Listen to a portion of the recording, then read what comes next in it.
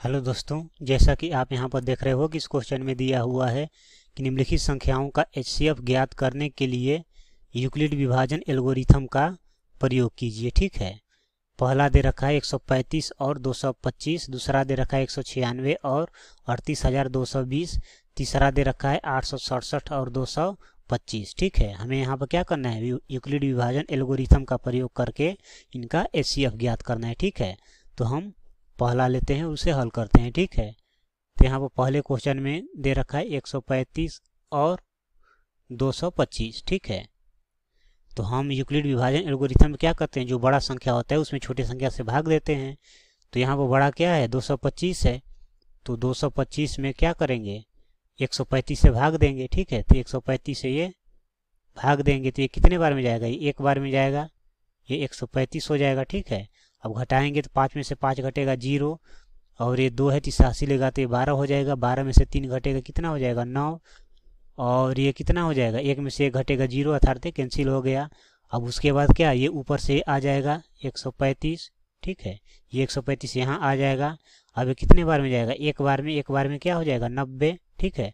तो ये पाँच हो गया, और तेरह में से नौ घटेगा, कितना हो जाएगा? चार, ठीक है? अब उसके बाद ये नब्बे यहाँ आ जाएगा। अब ये कितने बार में जाएगा? दो बार में? दो बार में क्या हो जाएगा? नब्बे। नब्बे में से नब्बे घटेगा, शेषफल कितना आ गया? ज़ीरो आ गया। तो हम भाग तब तक करते हैं जब तक कि शेषफल ज़ीरो ना आ जाए, ठीक है? और जो अंतिम भाजक होता है, वही क्या होता है? यूक्लिड विभाजन रिथम के अनुसार। वही जो होता है, उन संख्याओं का एस होता है। तो हम यहाँ पर इसको इस तरह भी लिख सकते हैं। जो एक सौ, जो यहाँ पर दो सौ पच्चीस था, दो सौ पच्चीस, उसको लिख सकते हैं बराबर। एक सौ पैंतीस गुने एक, प्लस नब्बे। ठीक है? उसी प्रकार ये जो 135 आया फिर, उसको हम लिख सकते हैं नब्बे गुने वन प्लस पैंतालीस। फिर उसके बाद ये जो आया हमारा नब्बे, उसको हम लिख सकते हैं नब्बे बराबर। तो ये क्या हो जाएगा? तो ये हो जाएगा हमारा पैतालीस गुने दो, पैतालीस गुने दो प्लस ज़ीरो, ठीक है? तो ये हम प्रोसेस तब तक ले जाते हैं जब तक कि शेषफल ज़ीरो ना आ जाए। तो जो अंतिम भाजक होता है, वही क्या होता है? वही एस होता है। तो इसमें भाजक कौन है? हम जानते हैं कि भाज्य बराबर क्या होता है? तो भाज्य बराबर होता है भाजक गुने भागफल, भाजक गुने भागफल प्लस शेषफल, ठीक है, या शेष। तो यहाँ पर अंतिम भाजक क्या है? पैंतालीस है। तो इसलिए एच सी एफ़ यहाँ पर क्या हो जाएगा? पैंतालीस हो जाएगा, ठीक है? तो हम यहाँ पर लिख सकते हैं, इसलिए एच सी एफ़ ऑफ़ एक सौ पैंतीस and two twenty five equal to क्या हो जाएगा? ये हो जाएगा फोर्टी फाइव ठीक है? इसका एच सी एफ़ कितना आ गया? पैंतालीस आ गया। इसी प्रकार अब हम दूसरे का देखेंगे। दूसरा क्या है? एक सौ छियानवे और दूसरा है एक सौ छियानवे और अड़तीस हज़ार दो सौ बीस। अड़तीस हज़ार दो सौ बीस है, ठीक है? तो ये हो जाएगा, अब हम क्या करेंगे? बड़ी संख्या में छोटी संख्या से भाग देंगे।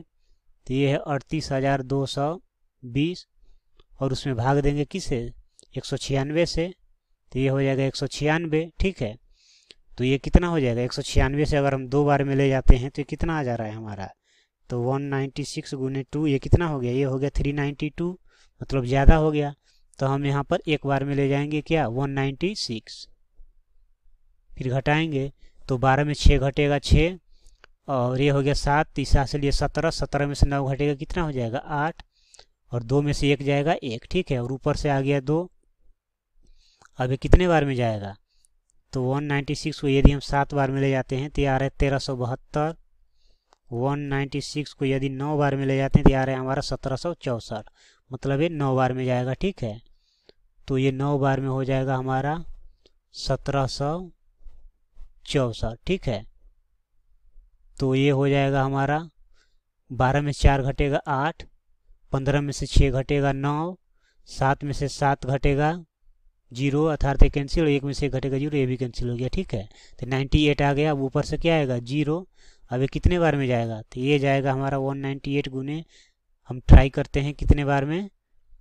चार बार में। तो चार बार में कितना आ गया? सात सौ बानवे। पाँच बार में देखते हैं।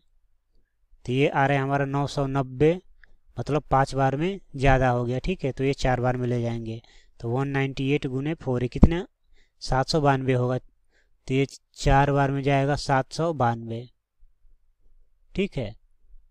तो दस में से दो घटेगा आठ अब ये सात हो गया हिसाब से लेगा तो सत्रह तो सत्रह में से नौ घटेगा कितना होगा? आठ, और ये आठ में सात जाएगा, एक हो जाएगा। ठीक है? अब उसके बाद क्या करेंगे? भाग का काम हम तब तक करते हैं जब तक सेसफल ज़ीरो ना आ जाए, तब इसको हम क्या बना लेंगे? भाज्य बना लेंगे 196 को। तो अब ये हो गया 196 अब इसमें भाग देंगे। तो एक बार में क्या हो जाएगा? 188 हो जाएगा। तो 16 में से 8 घटेगा 8 8 में से 8 जाएगा ज़ीरो, अर्थात कैंसिल हो गया, एक में से एक गया, ये भी कैंसिल हो गया, ठीक है? अब ऊपर से क्या आएगा? 188 ठीक है? 188 अभी कितने बार में जाएगा? तो दो बार में गया 16 18 में 16 घटेगा दो, ऊपर से आ गया आठ। तो ये हो जाएगा, तीन बार में क्या होगा? 24 ये कितना बचा? चार। तो अब ऊपर से ये आठ आ जाएगा, ठीक है? ये आठ हो गया हमारा, ये वाला। आठ जो है, अब ये क्या बन जाएगा? भाज्य बन जाएगा। तो चार से कितने बार में जाएगा? दो बार में आठ आ जाएगा। तो आठ में से आठ घटेगा ज़ीरो, ठीक है? तो हम यहाँ पर लिख सकते हैं, यूक्लिड विभाजन एल्गोरिथम के अनुसार क्या हो जाएगा? ये अड़तीस जो दो सौ बीस है, इसको हम लिख सकते हैं, वन नाइन्टी फोर। इसको हम लिख सकते हैं, वन नाइन्टी सिक्स गुने 194 प्लस और सेसफल कितना आया था? तो सेसफल आया था हमारा 188 तो ये हो गया 188 ठीक है? अब फिर यहाँ पर जो 18 फिर उसके बाद जो 196 था 196 उसको लिख देंगे हम 188 गुने 188 गुने वन प्लस एट ठीक है। फिर उसके बाद ये हो जाएगा हमारा 188 को हम यहाँ पर लिख सकते हैं। एट गुने ट्वेंटी थ्री, एट गुने ट्वेंटी थ्री प्लस फोर। फिर उसके बाद ये हो जाएगा हमारा एट को हम यहाँ पर लिख सकते हैं। फोर गुने टू प्लस ज़ीरो, ठीक है? तो जो अंतिम भाजक होता है वही क्या होता है? एस होता है। इसलिए यहाँ पर एस क्या हो जाएगा? तो उन दोनों संख्याओं का एस जो होगा वो क्या होगा? अंतिम भाजक। अंतिम भाजक क्या है? चार है ये। तो चार ही क्या होगा? एस हो जाएगा। तो एस यहाँ पर चार हो जाएगा, ठीक है? अब यहाँ पर हम तीसरा देखते हैं। तीसरे में क्या दिया हुआ है? तो तीसरा हम दे रखे आठ सौ सड़सठ और दो सौ पचपन, ठीक है? आठ सौ सड़सठ और दो सौ पचपन। आठ सौ सड़सठ और दो सौ पचपन, ठीक है? तो हम क्या करेंगे? जो सबसे बड़ा संख्या है, आठ सौ सड़सठ, उसमें भाग देंगे किससे? 255 से तो ये कितने बार में जाएगा? तो ये जाएगा हमारा दो बार में। तीन बार में देखते हैं कितना आता है। तो 255 गुने अगर तीन करते हैं तो ये हो जाएगा सात सौ पैंसठ।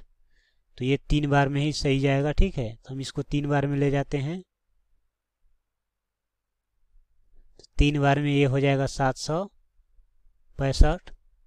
तो सात में से पाँच घटेगा दो छः में से छः घटेगा ज़ीरो, आठ में सात घटेगा एक, ठीक है? अब उसके बाद ये दो सौ पचपन यहाँ आ जाएगा। तो अब ये कितने बार में जाएगा? दो बार में ये हो जाएगा दो सौ चार। तो पाँच में चार घटेगा एक, ये हो गया पाँच में ज़ीरो घटेगा पाँच, और दो में से दो जाएगा ज़ीरो। अर्थात कैंसिल हो गया, ठीक है? तो अब ऊपर से क्या आएगा? एक सौ दो अब ये कितने बार में जाएगा? दो बार में क्या हो जाएगा? एक सौ दो हो जाएगा। तो 102 में से 102 घटेगा क्या? बचेगा शेषफल ज़ीरो। तो यूक्लिड विभाजन एल्गोरिथम के अनुसार हम लिख सकते हैं, आठ सौ सड़सठ को हम क्या लिखेंगे? ये लिखेंगे दो सौ पचपन गुने तीन प्लस एक सौ दो। और ये जो दो सौ पचपन है यहाँ पर, उसको हम लिख सकते हैं, एक सौ दो गुने दो प्लस इक्यावन, और जो यहाँ पर 102 है, उसको हम लिख सकते हैं। इक्यावन गुने दो प्लस ज़ीरो, ठीक है? तो जो अंतिम भाजक होता है, वही क्या होता है? एस होता है। इसलिए यहाँ पर इन दोनों का एस क्या हो जाएगा? आठ सौ सड़सठ और दो सौ पचपन का। तो अंतिम भाजक ही एस होता है। तो अंतिम भाजक यहाँ पर क्या है? इक्यावन। तो इक्यावन यहाँ पर क्या हो जाएगा? इन दोनों का एस हो जाएगा। तो दोस्तों, इस क्वेश्चन में हमें तीन पार्ट दिए हुए थे और सभी का हमें यूक्लिड विभाजन एल्गोरिथम का प्रयोग करके एचसीएफ ज्ञात करना था, जो कि हमने एक एक करके ज्ञात किया। तो उम्मीद करता हूँ, समझ में आया होगा। Thank you